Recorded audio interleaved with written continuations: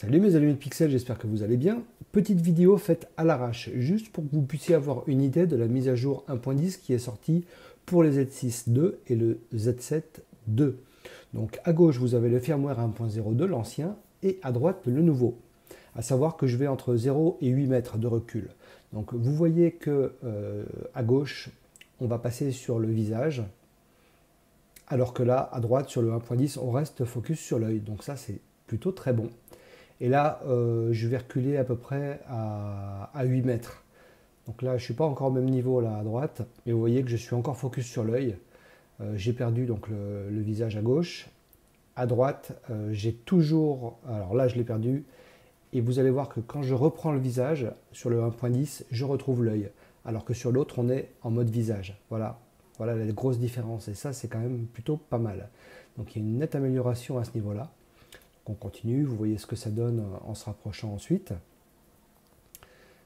Hop, je vous laisse regarder tout ça. Bon, tout n'est pas calé, hein, donc, euh, mais m'en veuillez pas. C'est juste pour vous montrer euh, à chose ce que ça donne.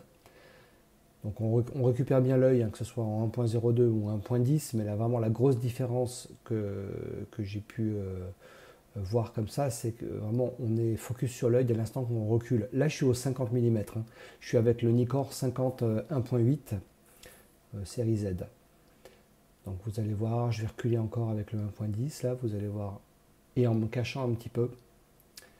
Là on est sur, en mode euh, visage, alors que de l'autre côté en 1.10 on est toujours sur l'œil. C'est plutôt très efficace. J'ai beau bouger, de l'autre côté j'ai perdu, là je le garde.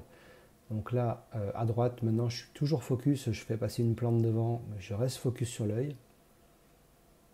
C'est plutôt très très efficace. Hein. Euh, le focus revient rapidement. Euh, et là, voilà. Je vais me cacher derrière le mur. Hop. Il récupère l'œil et pas le visage. Donc c'est encore plus précis qu'avant.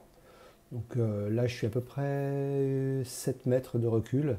il faut savoir qu'il passe, il passe en visage à 8 mètres. Voilà, eh bien, écoutez, c'était juste ce petit retour euh, rapide entre le firmware 1.02 et 1.10, que vous ayez une petite idée euh, à chaud de ce que ça donne. Moi, en tout cas, j'en suis ravi. Allez, je vous dis à très vite, il y a un tuto qui est en préparation. Salut